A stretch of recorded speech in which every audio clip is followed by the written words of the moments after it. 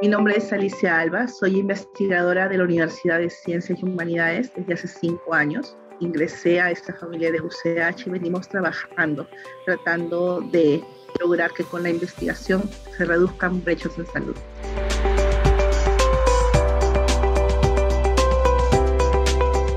La ciencia tiene un papel fundamental en el desarrollo de un país. Genera conocimientos, eh, mejora la educación, aumenta la calidad de vida. La ciencia responde a las necesidades que presenta la sociedad a desafíos mundiales.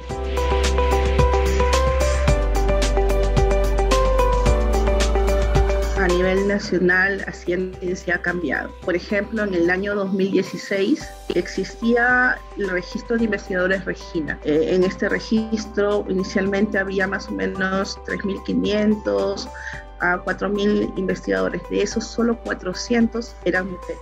Luego Regina cambió y se volvió Renacit. Y de 400 mujeres calificadas como investigadoras, actualmente hay 2.165 mujeres. Yo creo que, el camino ido avanzando, pero hay mucho camino por recorrer. Es importante eh, seguir preparando a nuestras alumnas, a nuestras tesistas, a nuestros practicantes eh, en ese camino, ¿no? De poder seguir creciendo porque cada cosa que conseguimos es un reto que también superamos.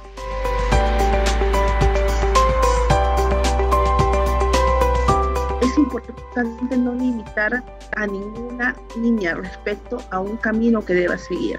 Cosas como que tal cosa no puedes hacer o tal cosa no puedes hacer no está en mi vocabulario. Yo creo que cuando uno quiere hacer las cosas, busca los medios.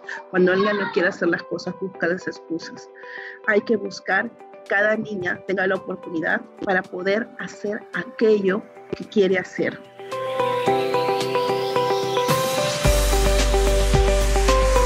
bueno, saludar en este día a todas las mujeres que han tenido el coraje y la fuerza para hacer ciencia, que fueron en algún momento niñas con entusiasmo y con ansias de investigar, pero que esa niña creció y que ahora se ha convertido en un ejemplo de otras niñas que buscan y sueñan con esa oportunidad.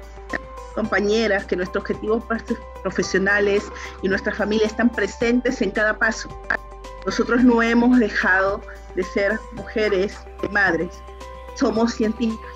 Un aplauso para cada una de nosotras.